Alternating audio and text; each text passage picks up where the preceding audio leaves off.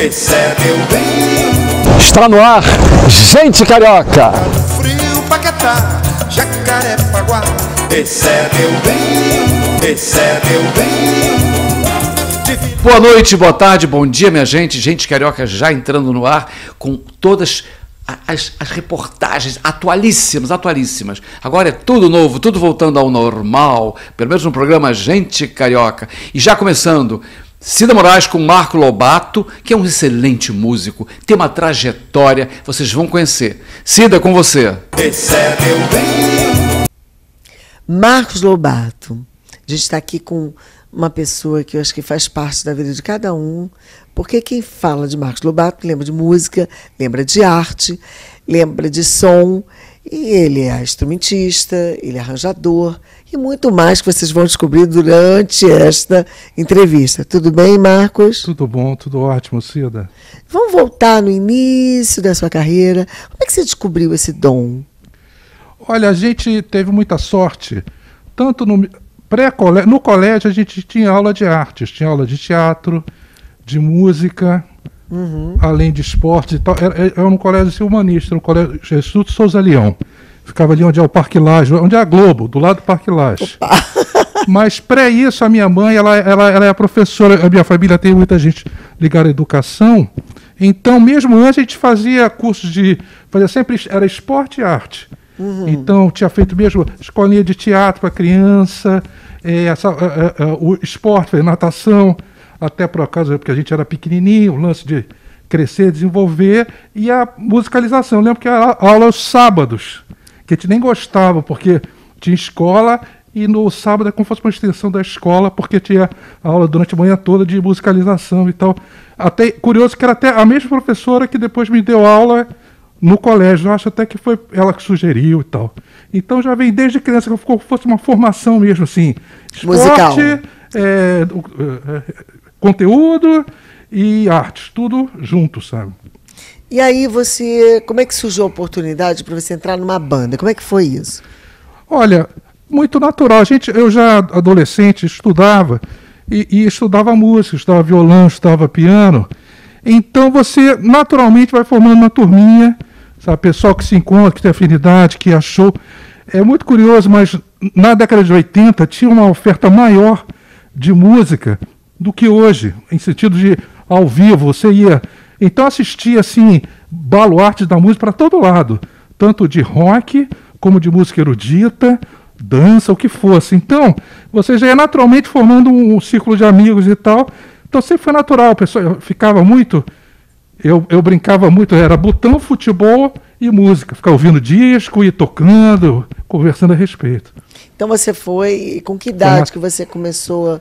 É, aos 14, 15 anos ou antes? É, estudando assim mais sério, violão e tal, 15 anos, e, e começando a tocar já aos 17, assim. E profissionalmente, o primeiro trabalho que eu tive foi aos 20. Qual foi a primeira música assim que você tocou que bombou? Primeira, assim, eu acho que foi o Não Me Iluda. Não Me Iluda eu toquei, era uma banda do Fábio Fonseca chamada Cinema 2. Então foi uma música, isso volta de 83, 84. Fez bastante sucesso, a gente fazia chacrinha e tal. Era até uma banda muito interessante, ele é um ótimo compositor, ele mora agora na Pensilvânia, ele é trabalha com fábricas de instrumentos dos Estados Unidos, sabe? Ele é pianista também, mas se radicou lá já tem uns seis anos.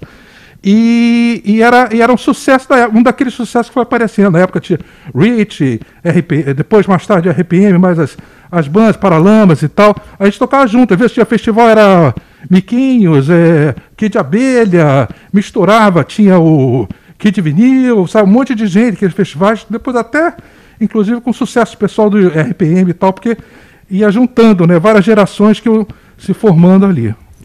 Bem, aí você é, começou a trabalhar também com é, produzindo, né? E conta como é que é essa sua experiência de, de Pois- produção. Pois é, a gente, hoje é mais simples porque tem computador, tem acesso e tal informação. Mas a gente até. Eu era CDF no colégio, sabe? Então, e, e- e o meu ambiente de música era ambiente de música erudita, mas de música popular também, rock and roll, gostava muito de rock progressivo e tal. Então misturava e, e o rock progressivo também tem muito isso do estudo, que eles vão para o lado de literatura, de música medieval, de misturar temas, sagas e tal. Então sempre fui interessado por isso. Eu ficava lendo muitos nos discos os créditos para aprender dos instrumentos, como é que fazia, quem gravava, quem fazia e tal. Então sempre fui, sempre estudava e começava, já estudei inglês, então comprava, na época era muito difícil, mas a gente comprava as revistas importadas para se informar. Uhum. E aí lá, já com esse lance do tocando, a gente já tem acesso já a mais recursos, começar a ganhar um dinheirinho também. Na época era até complicado, porque tinha o negócio do dólar muito caro e tal. Mas então eu investia nisso e você começava a ter acesso ao equipamento importado e tal. Então era uma coisa natural. Sempre, eu e meu irmão, a gente sempre teve esse interesse de estudar, de saber por quê, como é que faz e tal, com aquele som, que era aquele som, sabe? Daí era isso. Você e seu irmão são, são músicos, os Isso. dois. É, vocês trabalham juntos. É, bastante. Bastante. Mas hoje você tem uma carreira solo, você e mais um outro cantor ou é, hoje músico? é, eu trabalho como frila, Uhum. né? O, depois que o Rapa acabou, em 2018. Fala um pouquinho dessa banda, porque essa banda bombou muito, né? É, o Rapa é. Cara, o Rapa começou lá em casa. Ah, Começou isso que eu queria casa. saber. Começou lá em casa e o ponto de encontro era na esquina ali da rua São Salvador com o Esteve Júnior. Pessoal, na época, é, já tomava cachaçinha e tal. E. Você é engraçado. Posso te dizer uma coisa? A impressão, a impressão que eu tenho de você é de ser uma pessoa tão caretinha, ou eu tô errada? Ah, mas você- você- eu, eu tenho esse negócio, é, esse negócio de, de Obelix. Porque eu sempre andei, é, moleque, andava nos, assim, na Zona Sul, Barra Pesada, que era Lapa, região do Lido, da prostituição. E eu nunca fumei cigarro, não fumava maconha na época também, nunca fum, não sou de fumar. Mas eu sempre andei com música, todo mundo tinha os hábitos diferentes. Diferentes. Né? Pô, Lobato, pô, você é maluco, você já nasceu maluco, não sei o quê. Eu não tive esse problema de, de, de ser. Mesmo no colégio, que eu era cabeçudo e, e CDF, que eu tinha, sou cabeçudo, filho de nordestino, né? E cabelo mais curto, mais comprido. Pessoal, é- era aquele CDF que, mas que não, o pessoal não pegava no pé, Não sabe? pegava, porque você tem uma É, cara de boa. CDF, mesmo, gente É, boa. Não tem cara de músico, né? É, Então, não, não assim, até que de- tem, é, mas, assim, de uma pessoa É, não, bem, do bem. Ainda mais anos 70, 80, assim, né? Eu pequenininho já, todo o meu dinheiro, eu, eu, eu não gastava no lanche, juntava para comprar disco. Que era, meu, meu hobby era ficar olhando as capas de viajando e aí juntava grana comprava. Então já desde pequeno comprando disco de. Era, meu, meu primeiro disco é Beatles, Black Sabbath, de Pop, as bandas e tal, tudo rock. E aí você já é levado a esse ambiente de rock, que é o lance até de pá, de homem, meio jogo, meio turma do futebol, né? É, meio é. machista. Meio Aí, machista. Aquele negócio de pode ser homem, de beber, de, de zoar, Ver de jogo de futebol. ser valente É. e tal. E, o futebol também, que eu jogava futebol, então você vai se metendo nessas áreas assim, mais é, menos comportadas, né? Do que a galera da música erudita, que eu estudava e tal. Conheci até. Hoje meus amigos são todos doutores, premiados, compositores. Eu falei, pô, mas o cara, Paul Xi, não, meu professor de doutorado. Eu falei, não sei o que, do FRJ. Eu, cacete, é o Paul Xi, é meu amigo ali. Pô, Paul Xi. Ficar falando besteira o dia todo ouvindo som. Bacana isso, legal, né? é Essa é uma memória que eu acho que poucos têm, né? Poucos legal. têm. É legal, assim, de certo dia foi, a gente foi. Acho que a gente tem uma formação muito boa. A, a minha família, minha mãe tinha esse lance muito de, de educação, Educação. Uhum. De, de formar, sabe? Eu, estudava- eu estudei francês, estudei inglês no colégio fora, e isso ajudou muito, inclusive na, na- carreira de músico. Você vai para Europa, pô, mas você fala francês? Eu falei, pô, falta, pô, que legal, tal. Então já abre portas também, é interessante. Fora o inglês também, que é fundamental, né, para músico. Então, peraí, a gente estava voltando, desculpa que eu te interrompi. Eu Você, é, a, a- essa banda, o rap, Ah, sim. é, apareceu na sua casa, e aí, quantos integrantes? Eram cinco. A banda se formou em função de um jamaicano que veio fazer a turnê aqui. Aí eram os cinco, quatro acompanhando o cantor que era esse jamaicano. O, o ai meu Deus, depois eu lembro, Winnie. Ah, Papa Winnie, Papa Winnie.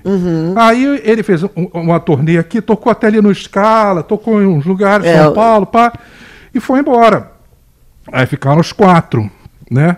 Aí fizeram um concurso, aí chama, o Falcão entrou por esse concurso em, em jornal, Aí depois, isso vai, seis, sete anos, em 2000 o Yuka teve um acidente dele, ele foi, foi baleado, né? É, uma situação drástica, Muito horrível, triste. E ficou É. impossibilidade de tocar, ficou é, é, paraplégico.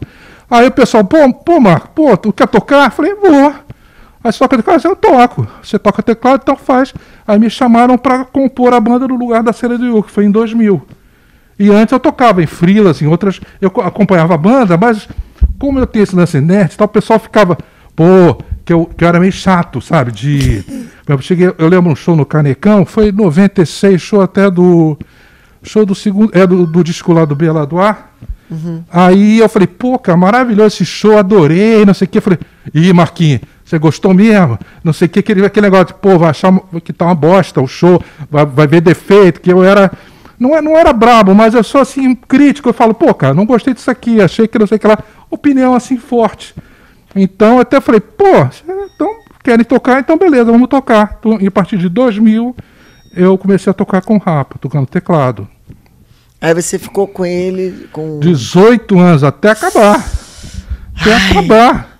Se não tivesse acabado, estaria, né? Não sei, o pessoal se resolveu cada um seguir seu rumo. Também é bastante tempo, né? É, é. Eles já, já vinham diante, que eu acompanhava, que o pessoal primeiro estava lá em casa, depois passaram a sair em Santa Teria de outros lugares e tal. E então estava ali acompanhando, tal, mas é aquilo assim, era a banda da rapaziada, mas eu tinha minha vida, tocava com outras pessoas, tocava com o Fernando Abreu, toquei com o Gabriel Pensador, com outra turma, sabe? E só em 2000 que eu passei a integrar e tinha a rotina de ensaiar, viajar, fazer show, que é uma Entendi. rotina pesada de música. E nesse momento de pandemia que a gente está vivendo, como é que está a tua vida? Como é que você interrompeu a sua vida? Você fez live? Como é, como é que você está sobrevivendo? Cida, tô me virando. Eu tenho uma vida simples, assim. Nesses oito anos eu juntei uma grana. Graças era a Deus. Oxalá. O meu, o meu luxo, assim, eu, eu gosto de comer bem, gosto de viajar, não sei o quê, mas meu luxo é comprar instrumento, comprar livro e tal, assim, não era. Um, não tenho pensão para pagar nem nada, Graças, não tem filhos. não pago aluguel, sabe? Graças a Deus. Pois é. Então, eu não fiz live não, porque sinceramente não me interessei. Eu fiquei mais deprimido, nesse sentido triste. Tá muito triste. Com tudo, eu já estava desgostoso com a situação em geral, até porque a minha mulher é da área de saúde, então você conhece o dia a dia. Eu sempre fui um cara de rua, de andar, sempre negócio de Lapa, não sei o quê, subúrbio, mesmo pegar trem, mesmo morando na Zona Sul e tal. Então, pra mim não era uma, uma, uma, uma figura. Quando bateu, eu, eu ando de ônibus, ando de metrô, ando a pé. Então vocês já sabem como é que funcionam as coisas. Eu falei, cara, então eu fiquei mais recolhido. Não- fiz até uma live que eu, até foi legal, que era um projeto da Baixada, mas não. Fiquei mais quietinho mesmo, estudando, lendo, sabe, mais em casa. É, é, é um momento complicado, né? Mas live, live você não fez nenhuma. Fiz uma live com. É um projeto lá do. Eu não queria fazer, não, sinceramente. Até porque eu falei, pô, cara. Porque você não gosta de fazer eu isso? não- cara, foi logo Você no não, não começo. vê o público é um... para maio, sinceramente, eu tenho uma visão, eu sou não, não, não curto muito esse ambiente todo. A rede social para mim, o tal do algoritmo, ele é muito legal, porque eu Uhum. aprendo muito, só vem coisa legal para mim e o que não me interessa eu passo adiante, não vou entrar em briga de futebol, É, de Deus me livre, política. também não. Eu acho Aham. perda de tempo. Mas eu, eu achava uma coisa assim. Porque, pô, você vê, só no Rapa foram 18 anos direto, viajando toda semana e tal. Então você conhece o que, que é. Então parou, eu falei, pô, juntei uma grana. Mas os meus amigos não- até não juntaram uma grana. Então você sente, cara, você conhece todo mundo, você sabe a situação qual é, fora as pessoas que têm mais dificuldade de acesso, de recurso, que moram longe, etc. Então eu fiquei, sabe, fiquei triste. Agora, aí o cara, não, o cara tem um projeto lá da, da Baixada Nova Iguaçu. Aí, vamos fazer, Lobato, tal, tal. Eu falei, cara, tô muito animado não, eu não vou ficar falando. Eu posso falar o que eu acho? Ah, beleza, vamos lá, Lobato, tal. Que era um projeto de educativo em Nova Iguaçu e tal. Foi uma É live que eu bacana, fiz. é uma coisa foi legal, bacana, foi legal, muito mas eu não bacana. tenho iniciativa. Você não tem esse tô- tesão de fazer. Nem de aparecer assim muito, sabe? Não. Não, porque, pô, eu não, não- o músico é bom que o músico não precisa aparecer tanto. Se eu fosse um cantor, Ney Mato. Grosso, imagina, o Ney Mato Grosso sem carisma. Você é um cara tímido? Eu sou razoavelmente, eu sou tímido meio é, exibido, né? Mas sou tímido, eu prefiro sempre ficar, até pelo meu trabalho de escrever, que eu escrevo também É, texto. você compõe também, não eu, compõe? é, eu faço, eu faço música e faço texto. Mas quando eu faço música, eu não faço muito canção, não. Eu faço mais um negócio mais é, é, é, progressivo, ou erudito, mais loucura, sabe? Eu não faço canção. É até faço, mas não é o que me bate. Agora, texto, então eu gosto, eu gosto de ficar invisível, de você observar. Isso é bacana, Isso é interessante. né? E até uma coisa curiosa. Eu, sempre tive amigo de todo espectro. Tenho amigo banqueiro e amigo faxineiro, sabe? Assim, Aham. Até pelo negócio do rapa você convive com. Com todo vai tipo. dentro da favela que ninguém entra, que nem a polícia entra. A gente chegou a fazer show dentro de comunidade. Uhum. É, isso é verdade. Então você vê, eu cheguei a ver cenas bem pesadas, assim. Você vê ambiente assim pesado de filme, você fica, meu Deus, que lugar é esse? Como é que você sai daqui? Não tem luz, é tudo, ah, não tem árvore, é tudo só sapisco e pobreza e tal. Ali é esgoto, não, tal, enfim. Então, é, é, eu, te- eu fico, é, eu tenho essa probabilidade de ser invisível. Muitas vezes ia até festas, ah, não sei o quê, Copacabana Palace, não sei o que lá, blá, blá. Quando eu vejo, já tô ali na cozinha, o cara, o garçom conversando. e não é que eu seja, é por acaso, assim, tem esse negócio, vai, Porque você é uma pessoa, assim, muito carinhosa na maneira de ser. não sei, eu, É, você é. Então talvez. Então eu acho interessante de você ficar discreto. Não que eu vou ficar me escondendo, mas de você ficar. Para o meu trabalho até é legal, porque eu posso observar melhor, misturar, escrever, pensar aquilo mais tranquilo, sabe? Hoje, se você pudesse mudar alguma coisa, o que, que você mudaria? Não- aqui a gente No- não está mim? falando. Não, no, No mundo, geral? no geral. Cara, poxa, eu acho que é a velha história do, do amor, né, cara? Então, as pessoas precisam, eu acho que se é, é, é, emocionar mais, se sensibilizar mais. E isso vem da educação, não a educação formal. Porque hoje, É. que você quiser estudar, mesmo sendo, com, mesmo não tendo recurso, é relativamente simples, que você pode ali, tal, lan house, emprestado, Assinar- é. celular. É, não, não que seja, não estou diminuindo a dificuldade, mas é mais fácil do que foi antes. Agora é o lance da, da- da- da- do, do calor, da emoção, da, da, da, Carinho, né? empatia. Da empatia, Isso é que vai, porque acho que o mais importante é isso. Porque com isso você já não tem. Muito problema já nem existe. E o resto é educação, é aquela coisa. Respeitar um espaço do outro, etc. E tal. Isso aí é de casa, né? Quem não tem é infeliz, não tem nem o que comentar. Por um lado, a internet, ela, ela, ela, vum, ela comeu todo mundo, É. comeu os artistas, Acabou com comeu tudo. tudo. Mas, por outro lado, você não concorda que ela também acelerou o entendimento Ah, entre os sim. artistas, entre Ah, os tudo. músicos, para poder unir Tudo. algum- alguns É, guetos, alguns é as grupos? é, é, a internet uma- é que nem uma faca. É. Você dá uma faca para uma pessoa desequilibrada, ela mata uma pessoa, corta, se corta e tal. Dá uma faca para o Leonardo da Vinci, ele vai bolar um to... Ih, vou fazer escultura, um esboço de uma coisa. Quer dizer, o problema não é da faca nem da arma. O problema é da pessoa. Então, a, a internet é maravilhosa. Eu aprendo muito, conheço muita gente. Agora, por exemplo, estou cheio de amigo, é, muita gente muitos negros, muito gay, é, é trans. Eu nunca pensei. Aí você está lá, o cara. Aí você vê, começa a ver a perspectiva. Uma coisa que eu nunca imaginei. Perspectiva de uma pessoa, mas como você vai convivendo ali, do, mesmo no Twitter, sabe? Você, aí você, caramba, você consegue ali interagir com uma pessoa que você nunca teria contato, porque é difícil, né? Até pela questão social, de restrição, de não cruzar mesmo, de não, não cruzar. Eu sou um cara de classe média e o cara e o outro ali está em outra esfera, morando na periferia de Sergipe, não sei de onde, sabe? É verdade. Então acho muito interessante, é maravilhoso. O problema é ser humano mesmo, que está fraco, sabe? Precisa ser adestrado, né? É, Eu não digo em termos de, de, de- de educação, ah, matemática, química e física. Isso eu acho bobagem. O problema é adestramento mesmo. Saber limite, respeito, proporção. Porque dali, tanto é que antigamente o, o nosso povo, você via um cara analfabeto, como Cartola, ou mesmo né, o Sargento, praticamente aquele negócio do o, o primário mal feito, ver como eles falam, como eles escrevem, como eles têm sensibilidade, apesar de serem massacrados negros, né? É. porque era outra, o- o- a sociedade tinha Outra visão, né? É, esse, esse, eu não sou saudosista, mas tinha mais essa noção é, é, é, de respeito, de espaço, de isso até no pobre, naquela tinha uma qualidade que hoje você não vê nem num, num rico abastado, enfim. É verdade, é verdade.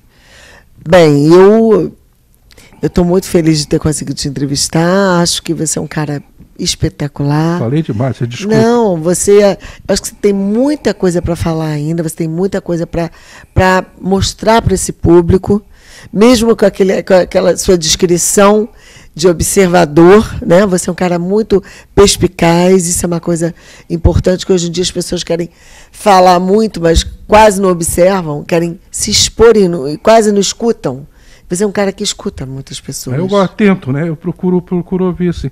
E é muito interessante, é uma, uma coisa divertida. Posso dar uma dica de Claro, cultural? Então, claro. Tem um cara que ele é tão bom que ele está acima do nível do Brasil.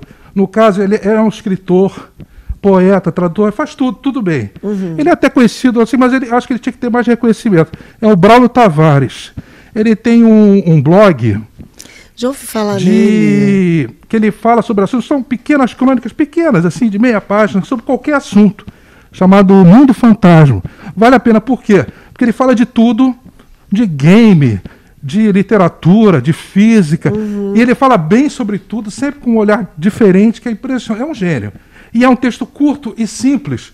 Então aquele texto, aquilo que é é como eu- na época que eu era moleque, o jornal te abria é, janelas, ah, física, ah, sei, lá, Frank Zappa, Paulinho da Viola, você, "Ih, esse cara aí, como é que é e tal. Então, acho que é uma coisa interessante porque é acessível. Quem quiser se interessar por uma coisa interessante, poesia, qualquer assunto, ele não é careta, é o texto do Braulio Tavares no Mundo Fantasma. Anotaram? Texto do Braulio, Braulio É o Zé Tavares. Tavares. Ele é parceiro do Lenin, ele é um cara Ah, é- conhecido. ele é um cara conhecido. trabalha com cinema, é roteirista de cinema, com a Tizuka Yamazaki e tal. Só que ele é um cara que eu acho que. Ele, eu acho que ele tinha que escrever num jornal assim grande, mas não sei. E ele é tão bom e tão simples. Ele sabe tudo, diversificação, de repente. É um gênio. Você fala com o Lenin, com essa turma, todo, ele é o guru dessa turma toda. Então é um cara interessante porque ele é Brasil e ao mesmo tempo é uma coisa que te abre portas, janelas interessantes no sentido do es- estímulo e tal. Bom, eu, eu só estou aprendendo nessa Imagina. entrevista, né? Cada vez mais estou engolindo saber dele. Obrigada, Marcos. Imagina. E se você quiser mandar um recado, falar do, falar do seu Instagram, ou Não, quem que quiser, siga. é, meu Instagram, não estou mexendo nada, Conheça porque eu vou a tua ficar. vida. Antes eu postava muita comida. Prato simples, assim, às vezes uma tangerina, uma. Aí fazia até uns textos assim. Mas acho que perdeu o sentido completo. Por uma quê? assim. Porque isso ofende, cara. Tem gente que não tem dinheiro para comer. Isso ofende. Muitos meus amigos não têm. É o lance que minha mãe chamava antigamente da pobreza envergonhada. Tem cara que, que tá duro, mas ele, ele tá ali, não tem perspectiva, mas não pode chegar e pedir uma grana na rua, sabe? Então, eu, eu É, deixei mas- de coisar. Não, você desculpe, assim, eu deixei É, de claro, postar. claro. Mas tem o África Gumbo, que é a minha banda, África com, com G, com K, que é, muito, é um trabalho muito legal. E aí tem, tem o Instagram e tal. E a gente deve lançar um disco ainda no final do ano, se Deus quiser. Então você avisa pra gente, tá? Aviso, te agradeço. Vai ser um prazer Eu muito grande. falar demais. Imagina. E vamos lá. E gente carioca sempre com você, levando arte, cultura, entretenimento para essa cidade maravilhosa. Oxalá, Rio de Janeiro. Esse é meu bem. Super Vídeo Produtora. Equipe altamente especializada. Equipamentos de última geração. Guarde suas lembranças para sempre. Gravações de eventos, programas e reportagens. Recuperação de áudio e fitas de vídeo mofadas e danificadas com o tempo. Qualidade profissional. Esse é meu bem. Imperdível. Cida Moraes, Fernando Reis, Gente Carioca, é um programa de variedade mostrando tudo que há de melhor no Rio de Janeiro. Aqui na TV Comunitária do Rio. Sexta para sábado, meia-noite, canal 6 da NET. Gente carioca. Esse é meu bem. Se você não vê a gente nesse momento, você pode ver nas redes sociais, no YouTube, no Facebook. Então é tão fácil. Estamos lá direto. Nós temos um canal, canal Gente Carioca no YouTube. Imperdível. São 11 anos, sempre trazendo o melhor para vocês. Bom, essa nossa convidada de agora é do coração, é, é uma irmãzinha nossa e está se está tornando uma excelente apresentadora, exatamente. E também está aqui no nosso canal, exatamente, às quintas-feiras à meia-noite, é nossa coleguíssima Malu Maciel. Esse é meu bem. Bom, hoje eu tenho o prazer de convidar e trazer aqui e conversar com ela Malu Maciel, essa atriz que é está agora estreando como jornalista, repórter, apresentadora de televisão via internet. Que história é essa, Malu? Eu, eu, eu vim fazer um trabalho aqui no, na turma OK, encontro uma colega, que é uma atriz excelente de novela, de televisão, de teatro, e a encontro entrevistando o camarim. Eu, você é minha concorrente? Você é suspeito, porque você é meu amigo há mais de 25 anos. Meu, meu irmão mais velho. Boa noite a todos, um prazer estar aqui. Que bom rever o meu irmãozinho de profissão, que eu adoro, talentosíssimo. 65 filmes brasileiros você já fez, né? Eu estou sabendo. A entrevista é sua. Malu, você quantos anos de carreira? São 25 anos de carreira. Você fez mais teatro ou televisão? Fiz mais teatro. Televisão você fez uns papéis aí que bombaram. Você pode dar uma, uma sugerida pra gente, lembrá-los? Sim, eu fui protagonista de um Linha Direta. Eu era assassinada. Inclusive, eu entrava no caixão. E quando a minha avó viu essa cena, ela quase morreu de verdade. Aí minha avó falou: Por favor, minha netinha, nunca mais entra num caixão. Eu falei, mas vó era parte da cena. Então eu adorei fazer esse linha direta. Eu fui protagonista. Foi o único que eu fui protagonista na televisão. E aquela que você foi, você parece que você fez uma empregada importante. né? Fui. Eu fui na minissérie Os Maias, eu fui empregada da família principal, da família Maia. Estava implicada na história. Tinha uma história com ela. Ela que anuncia a morte do Valmor Chagas, que era o Maia, que era o senhor principal da trama. Mas era um papel pequeno, mas que eu fiz com muito carinho e que ficou do início até o final na trama, né? Contracenei com Fábio Assunção, com grandes estrelas. Então foi muito prazeroso. Você nunca passou pela Record? Não, eu já fiz a Rede Manchete. Eu comecei na Manchete é, 25, 26 anos atrás. É, iniciei na novela Tocaia Grande, fazendo uma participação como Kenga. Aí depois eu fiz mais umas duas participações na Rede Manchete. Eu fiz Vila do Tiririca, eu era a Baiana Mãe Mariá. Nada a ver, né? Tão branquinha baiana. Mas era uma mãe de santo, meio louca. Você foi jurada de televisão, de algum concurso, ou algum clube, como júri? Não, mas quando eu tinha 14 anos eu ganhei três concursos. Eu participava como modelo lá, muitos anos atrás. É, Chegou a ser Miss alguma coisa? Fui, fui Miss na minha cidade natal, Araras, no interior de São Paulo. Eu fui Miss três vezes. Uma foi Miss Simpatia, uma eu ganhei o primeiro lugar, aí numa outra cidade vizinha eu ganhei o segundo lugar. Agora, em teatro, a Malu tem uma história com Violetas na Janela. Essa, pe- essa peça espiritualizada, né? Que está tantos anos em cartaz. Com a, a nossa querida Ana Rosa, né? Você está desde o início? É, eu estou desde o início, mas eu saí por um tempo, né? Eu entrei na peça 26 anos atrás, mais ou menos, no início. Eu fiquei dois anos e meio. Aí eu saí para ter minha filha, estava grávida, eu saí, virei mamãe. E depois eu só fui voltar, Deus quis que eu voltasse muitos anos depois, é, acho que 20 anos depois. Agora já tem um ano e meio que eu voltei a fazer a peça. A gente estava viajando pelo Brasil quando veio a Covid e a gente teve que parar, sair, parar a peça e sair de cartaz, infelizmente. É verdade, um passarinho me falou que tem uma história de Portugal, de Lisboa. Ah, é, mas porque a peça pretende viajar, né? A gente já foi para a Suíça com essa peça. Violetas na... Português? em português e no telão tinha tradução em, em francês e alemão. Então era em português com as duas traduções simultâneas. Então é, estreou na Suíça em 2018, é, se não me engano, em Genebra e em Basel. E depois é, a peça tinha planos de ir para Portugal, Ana Rosa tem planos de ir para Portugal e a gente está esperando para ver o que vai acontecer, né? Agora você está com a sua carinha como jornalista apresentadora. Que, história é essa? Me conta. Encontrei você no camarim, eu não sabia que você era apresentadora. É o meu programa, se chama Experiências e é um canal da web, né, o canal Absolute Rio. E é um programa que é toda quarta-feira, uma vez por semana. É, e eu entrevisto artistas, pessoas como você, toda quarta-feira às 19 horas. Você tem algum estúdio, você faz em casa, você vem no local. Nós estamos aqui hoje no local, uma externa, né? Como é que você prefere gravar? Ah, eu gosto do jeito como eu estou fazendo, cada dia num lugar diferente. A gente não repete. Eu e o meu diretor de cena, Max, a gente juntos tem umas ideias brilhantes. E a gente sempre inova, nunca repete. Max, quem é o Max? Ah, ele está aqui atrás das câmeras. Qual o sobrenome dele? Max Figueiredo. é o melhor. e a gente vai, assim, cada entrevista é uma pessoa diferente, um estilo diferente e um local diferente. Qual a sua pretensão? Você quer ir um canal aberto? Você quer futuramente ter um programa maior, com mais apresentadores? Ou uma coisa, um, fi- um estúdio fixo, por que não? Um cenário lindíssimo. Hoje em dia você com Chroma, você faz. Você está em Nova York, né? você está em qualquer lugar. Né? O que, sua, sua pretensão? Nesse momento, a minha pretensão é continuar como está, porque eu estou adorando. É, entrevistando pessoas queridas, pegando experiência, um dia de cada vez, uma experiência nova. Eu acho que por enquanto eu quero manter assim, porque eu estou me sentindo muito bem, é um trabalho prazeroso.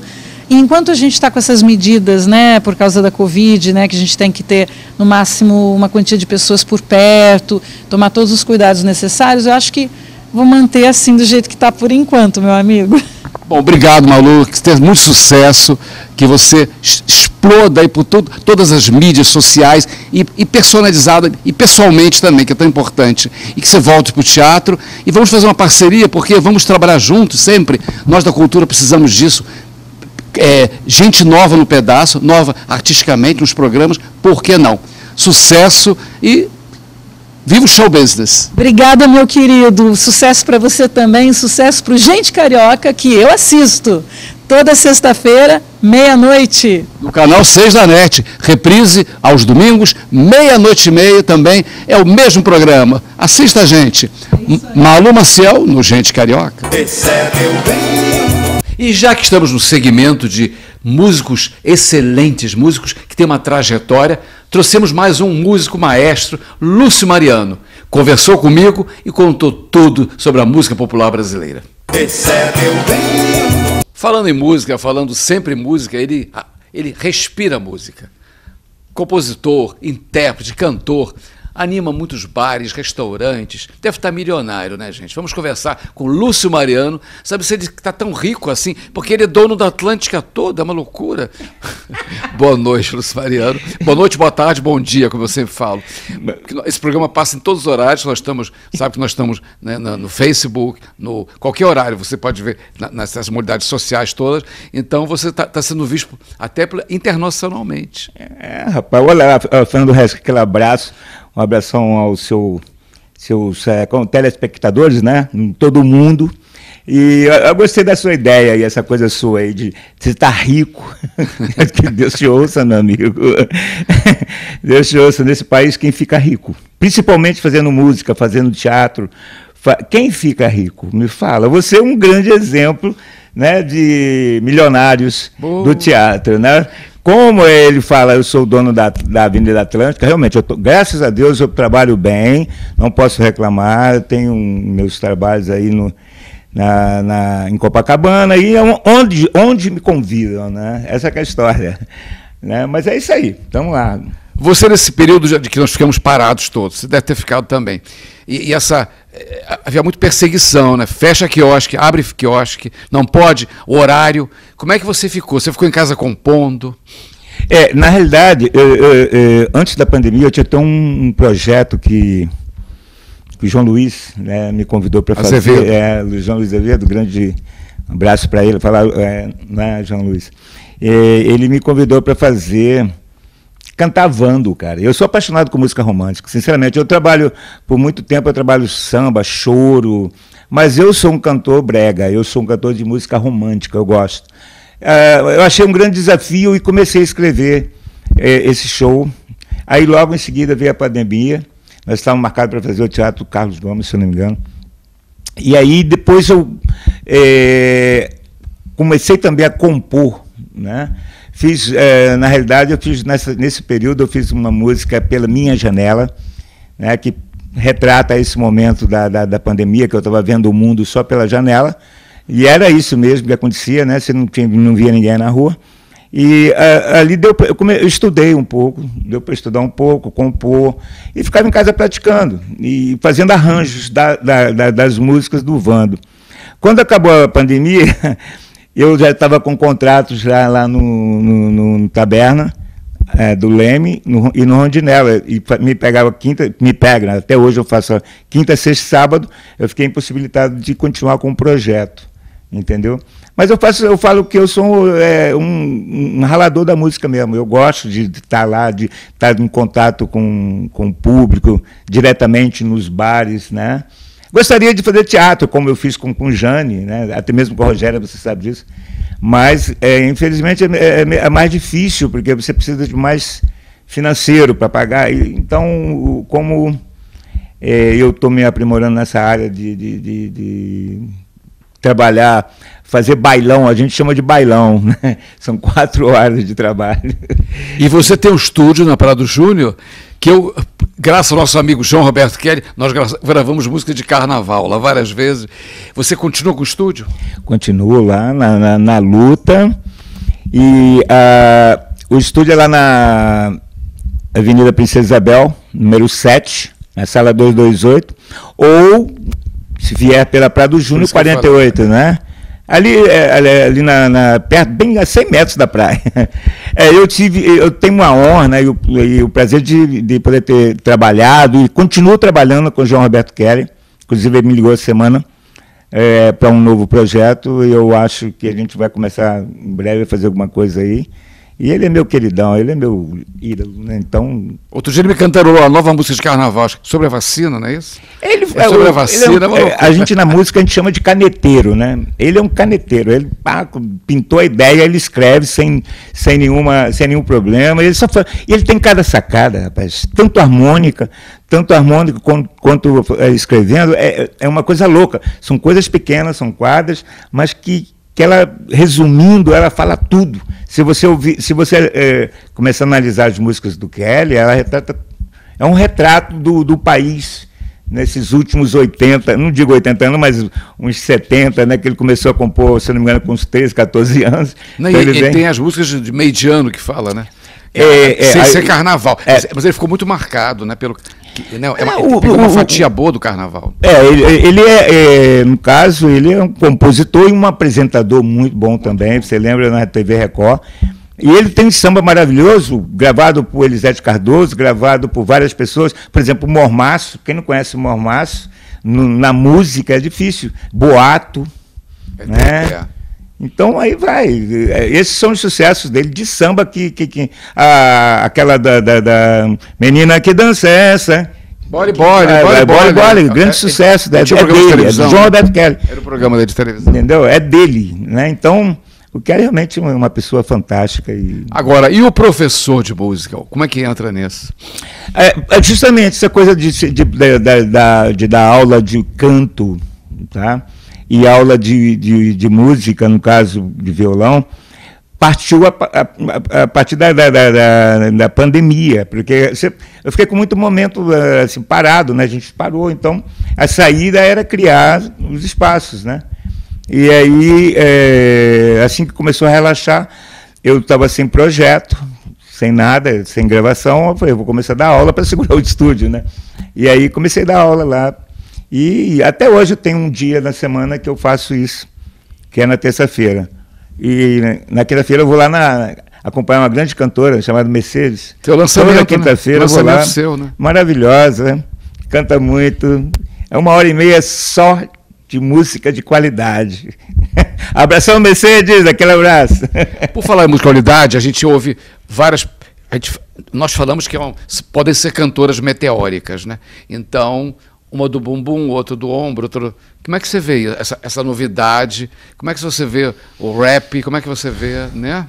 Você, você é adepto, porque você é uma cabeça aberta, né? Então, como é que você vê essa musicalidade? Existe? Claro, sem dúvida. Você é o maestro, É, né? é, não, eu acho, eu, eu sou, como eu falei, eu sou, eu sou, eu sou brega. Então, você me vê tocando chorinho, fazendo, can- tocando jacó do bandolim, tocando pixinguinha, vai vai lá, o cara é elite. Não, eu acho o seguinte, quando uma pessoa ela atinge esse nível de viver da sua profissão, sem, sem, sem, sem, sem fazer nada errado. Cara, isso é válido. Agora, a- é, o rap, o, o- tem, cada, tem coisas maravilhosas, o próprio funk, que o funk, além, é, as pessoas falam do funk, é porque na realidade não sabe que o funk é um ritmo, como o samba é um ritmo, o pagode é um ritmo, que é um samba. A bossa nova é um samba. Então, se você, é, você não. As pessoas começam a. Ah, porque uma letra que as pessoas fazem em tal do proibidão, aí muita gente julga, né? Faz esse. E não é por aí. É, Eu acho que a música, ela tem gosto para todo mundo. Entendeu? Tem gosto. Às vezes eu gravo uma música brega, eu mando para a pessoa, isso é horrível. Aí mando para outra pessoa, ah, que lindo, maravilhoso. Aí eu gravo uma sofisticadíssima, mando para quem é brega, ah, isso eu não, não entendo essa música. Quer dizer, a música, essa palavra é importante, a música você tem que entender, entender a música. Se você compreende a música, se você sente, ela foi feita com amor, vale, não importa se é rap, se é funk, se é trap, se é soul music, o que for, o importante é a obra. Lúcio, todo mundo pode cantar? Eu acho que isso, eu, essa, essa é uma coisa muito interessante. Eu falo todo mundo exceto o mudo. Quem é mudo, acho que não tem condições, que eu nunca tentei com mudo, não. Mas eu já vi mudo dar uns gritos que. é, é, é, Não sei se ele está cantando ou se está querendo falar. Mas o, o, o surdo o mudo ele tem por não ter esse, esse, esse retorno. Eu acho que seriam os únicos. Claro que existe aquela pessoa que ela não tem métrica nenhuma. Ela não, você olha, se tenta, ela não consegue. Mas, quer dizer, tem, tem que ter um trabalho ali para ela cantar. Eu acho que todo mundo canta, sabe? Menos o surdo e o mudo. Mas, agora, tem aquele que já nasce cantando, né? Aquele que já tem aquela. é é o artista, né? Já nasce. Aquele que eh, você tenta, vai realmente ter dificuldade, vai fazer um trabalho ou outro, mas não vai agradar todo mundo, porque não, não tem aquela qualidade. É igual você não é um ator, né, cara? Você sabe, você que é ator, que é diretor também, você sabe que chega num momento que você fala assim, olha, você está fazendo direitinho, mas não é, não, é aquele filezinho, aquela cereja, entendeu?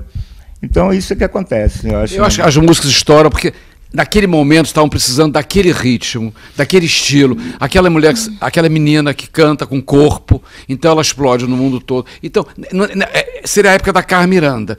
Precisava de uma É. Carmen Miranda do Brasil naquela época, você sabe disso. Ela É, foi exportada. e tem também a na- Carmen maravilhosa, mas eh, talvez tivessem outras, mas ela foi exportada e nasceu Carmen Miranda. Graças a Deus. que- Graças a Deus, mas eu acho que isso também. como, como estão exportando agora também. Isso vem muito da coisa financeira. Que você acha o quê? Que quanto está uma produção dessa de um grupo desse, de música sertaneja?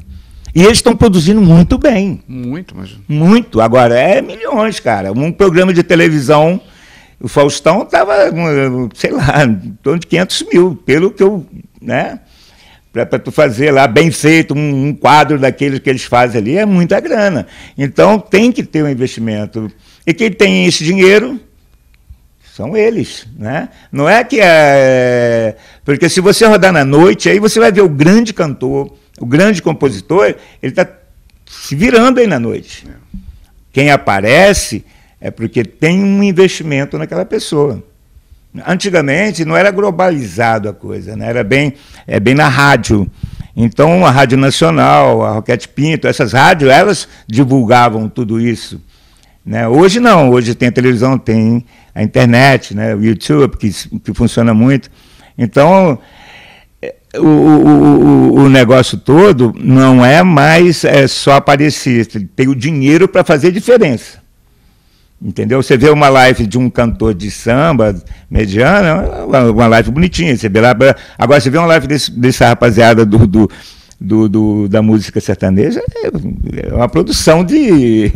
ali. Você acha que no momento atual, se Elis Regina estivesse aqui, Clara Nunes, faria um sucesso ainda? Claro, sem dúvida. Sem dúvida.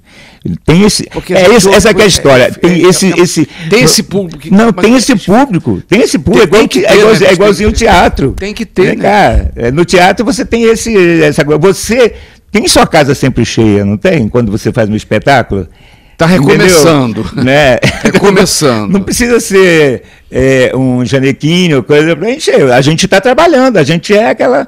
É igualzinho eu, a gente, nós estamos naquele patamar ali, de, de- esperando para dar um pulo para ganhar um din-din para investir mais. É, é- é um estilo romântico, um, um- essas que eu falei, Hum. um estilo mais romântico, um estilo, por exemplo, é, é- é uma que vem do samba, não, não tem, não tem carnaval, então você não vende música de carnaval, né? É- é, não, não tem É, samba, esse né? caminho, Como é que faz isso? o né? samba, o samba na real, existe na, na música a- a- as etapas, né? A partir agora de novembro, aí já começa no Rio de Janeiro esse movimento do carnaval. Ah, é ótimo que volte. Entendeu? E aí, ao chegar janeiro, começa a coisa do movimento com as marchinhas.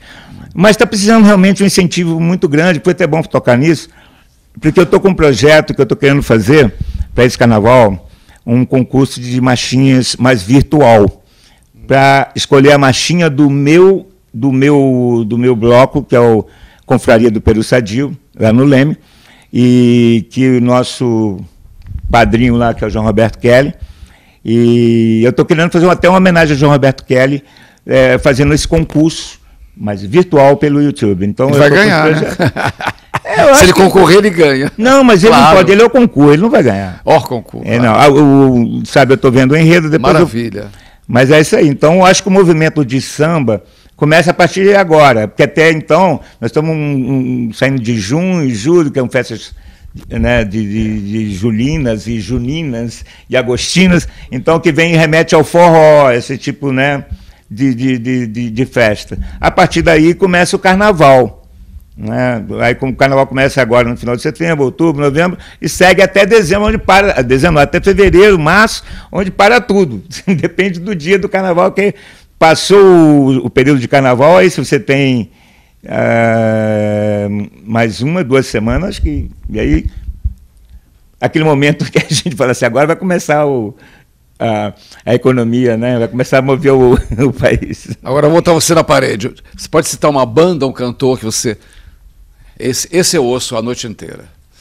Uma banda Ou um cantor. Olha, tem ou os dois. né? Você mexe com música, então, para você é fácil. Tem- não, não é assim, não. Pode Vamos, ser- vamos fazer das fala assim, antigas, Você vai fazer um antigas. pop, cara. Eu sou apaixonado com Cazuza, Ah. com Herbert Viana. Tá? Eu sou apaixonado. Hoje em dia tem uns caras aí, pensadores, que eu tô gostando muito, que é o, tem o Lenine, tem Zé Cabaleiro também, que eu acho que está muito legal. Cantor, cara, é o cara que, que eu vi crescer né, na, na música, que eu cheguei a acompanhar por muito tempo, eu trabalhei muito tempo com a mãe dele, onde ele apresentava com a gente, né, não tinha nome, ainda era jogador de futebol, que é o Diogo Nogueira. Né? Para mim, o cara tá. Ele começou, ele abriu, achou o caminho dele, né? Porque no início muita gente. Ele, ele tem realmente uma voz muito. com timbre muito rico e muito assim, similar ao pai, né? Mas na realidade eu acho que o timbre do tio dele, do primo dele, que é do Didu, que é mais parecido com, com o João. E ele acabou saindo fora disso tudo e hoje ele tem uma carreira maravilhosa, está com vários sucessos aí.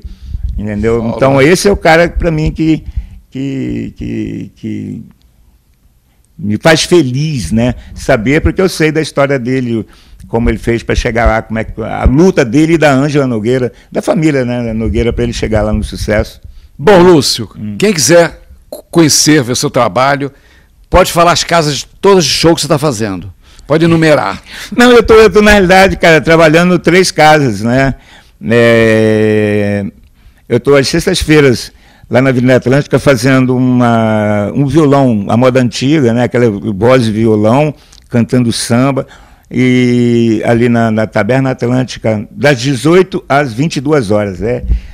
Começou às 18, termina às 22, não passa desse horário. E eu já estou lá bastante tempo trabalhando com o Carlinho, que é o proprietário lá. E ao sábado, a Avenida Atlântica, a Avenida Atlântica 958, a, a Taberna Atlântica, que é ali no Leme. E o Rondinella, que é na 20, Avenida Atlântica 20, é 2048. Esquina Siqueira Campos. É Esquina, Não é que Atlântico errar, Siqueira Campos, Rondinella também fazendo essa brincadeira, onde de vez em quando eu recebo a Mercedes, eu recebo a turma lá, a Cida já foi lá, né? Você mesmo, né? Vai ser aniversário lá. Pois é. Então eu estou fazendo ao sábado ali na Atlântica. A gente, ali eu tenho acompanha ali uma uma amiga minha, chama Monique do Cavaco, que é brilhante. Ela sola cada choro maravilhoso, é uma pessoa maravilhosa. Eu queria até mandar um beijo para Monique do Cavaco, que ela merece. E, E eu adoraria estar tocando com o meu grupo, que é o Grupo Samba Carioca, mas né, realmente com essa coisa da pandemia, caiu o público, aí nós tivemos que reduzir. Eu espero agora no verão poder voltar. Então, sexta e sábado. Domingo eu retorno ao, ao, ao Taberna Atlântica, que é lá perto do Hilton, gente. A referência é ali na, no Leme. Então, estou lá, nessas duas casas, sempre se Deus quiser, ou graças a Deus, né, das 18 às 22 horas. E um telefone para contato para contratar você e o seu, o seu estúdio também, né? É 21 991 756296. 21 991 756296. Ok? Pois é, Lúcio Mariano, um maestro que respira música, aspira música, engole música, É. vive da Não, eu- música, eu realmente- fica na madrugada na música e eleva os nossos pensamentos. Obrigado pela sua coragem, nossa toda, nossa, da sua cultura. Você é um exemplo disso, te conheço há muitos anos. Você é um exemplo da música popular brasileira. É. Parabéns mesmo. Eu vou aplaudi-lo e terminando assim. Obrigado, menino.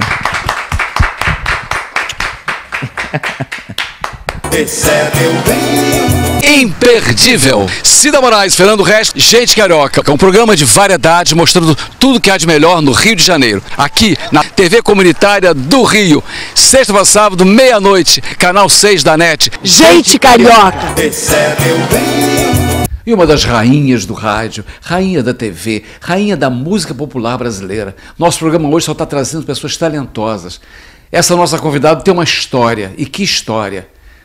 Vamos aplaudir Doris Monteiro. É bem. Vou conversar com Doris Monteiro, conversar com a música popular brasileira no seu mais íntegro, no seu, no seu mais início, no seu mais popularidade, na Rádio Nacional, em todas as rádios que você passou. Doris, a gente conhece há muitos anos, graças a Deus. Você já vem com um show novo agora, não vem? Venho, ah, venho com dois shows novos. Um dia 2 de dezembro, na As Divas do Sambalanço, com Eliana Pittman, Claudete Soares, e depois do Prudential, que é o antigo Teatro Brock, né? E aí eu sozinha, cantando só meu repertório. Você, qual é a sua ligação com. Nós estamos aqui no lançamento do Rui Castro, Metrópole à beira-mar, o Rio moderno dos anos 20. Qual a sua ligação? A minha ligação com o Rui já tem muitos anos, porque eu fui num programa de televisão e ele estava lá também. E aí a gente se conheceu. E depois ele fez um livro maravilhoso, né, Samba Canção, e ele sempre, sempre me prestigiando e fazendo elogios. E aí a gente ficou amigo. É bom, né? Você ensaiam muito antes de fazer um show? A gente ensaia. Vocês três, vocês se juntam na casa do maestro?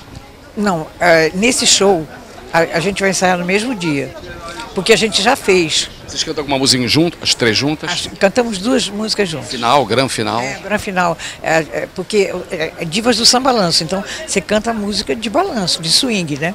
Então a gente a gente canta uma que eu gravei, que é Sambô, Sambô, não descansou. Ficou zangado quando o dia clareou, eu nunca vi sambar assim. Gosta de samba muito mais do que de mim. Essa nós cantamos juntos e depois é, é, a gente canta, tem, tem duas opções. A gente pode cantar o samba da minha terra, deixa a gente mole. Quando se canta, todo mundo bole. Quando se canta. E, e depois cada uma faz cinco números. Mas é bem, bem- é bem alegre, muito bom. Vem de longo chiquérrima, Eu vim com a pantalona, né? no dia do show, No dia do show. vem no show de surprise. Surprise. No dia do show aí você tem que ir mais, né? Palco, né? palco, você tem que ir com brilhos. Eu não gosto muito de brilho, não, você sabe? Não, não gosto não, mas Você foi, você foi rainha da, da- na Rádio Nacional? eu fui, eu fui rainha do rádio, mas eu era da Rádio Tupi. Porque primeiro eu comecei a cantar na Rádio Tupi. E fiz um teste com o Almirante e com Aldo Viana, que era o pai do Galvão Bueno. E passei e entrei na Tupi com 16 anos. Estou fazendo 68 anos de carreira. Já estou com 85, né? Você faz aula de voz? Não, Faz vocaliza em casa sozinho? não. Toma gelado? Tomo. É para eles saberem disso, né? Quem está nos assistindo. Pois é, não, mas é, é- por exemplo, a, a Claudete, ela não toma nada gelado. E ela disse assim, você é louca de tomar coisa gelada, não faça isso. E a garganta, mas eu, sabe como é? Eu, eu comecei há 68 anos atrás, quer dizer, não, era dom mesmo de cantar. E eu não, nunca me preocupei com essa coisa de eh, pegar vento, de eh, proteger a garganta. É meio doido, né? Bom, parabéns pela sua existência toda. Você é um, é um mito nosso da música popular brasileira. Eu falo isso, a nossa plateia toda fala também. Nosso programa é, passa uma, à meia-noite, mas tem reprise em outros horários. E também está na internet, no YouTube. Né? Então os jovens podem ver e conhecer você, claro. bom, né? A juventude toda vê, porque, porque é gente carioca. E você é carioca? Eu sou carioca da Gema. Olha, nascido em que bairro? Eu nasci em Ipanema e depois vivo a vida toda em Copacabana. Obrigado. Beijar essas mãos. Esse Beijo. gogó. Bom, você é gente carioca. Obrigada. Beijo, gente. Hum. E assim chegamos ao final, sempre com muita alegria, para alegrar esses momentos difíceis também de colegas nossos que estão partindo. Isso é muito duro, cada semana a gente sente uma facada, isso é muito difícil para nós, colegas dessas pessoas. Nós queríamos dedicar esse programa hoje à grande atriz comediante Marina Miranda, vizinha minha de Copacabana, grande amiga de frequentar a minha casa. Marina Miranda, esse programa, essa alegria para você. Apesar de tudo, alegria para você. Semana que vem tem mais um programa especialíssimo. Não perca e não troque de canal. Gente Carioca chegou mais para ficar ainda. São 11 anos no ar. Canal 6 da NET, às sextas-feiras, meia-noite. Imperdível. Até semana que vem. É hora a educação de berço vai virando barraco na favela. Pudera se eu souber que meu marido me engana, me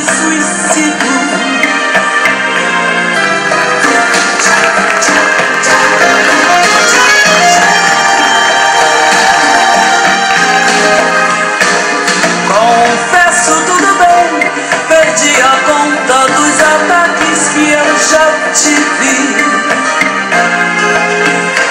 Eu tenho cartomante, detetive, enfermeira de plantão.